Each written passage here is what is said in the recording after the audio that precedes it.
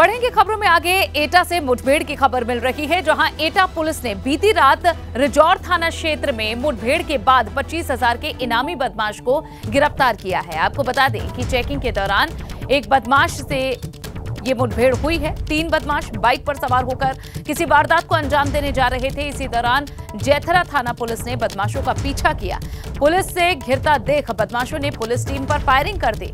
बदमाशों की एक गोली थाना जैथरा में गाड़ी में लग गई जहाँ दूसरी गोली बैरियर में जा लगी। इस बीच पुलिस ने भी जवाबी फायरिंग शुरू कर दी। पुलिस की गोली से बदमाश घायल हुआ है।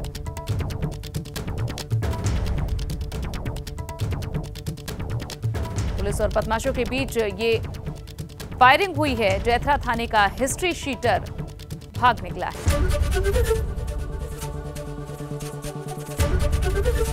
एबीपी गंगा। खबर आपकी जुबा आपकी।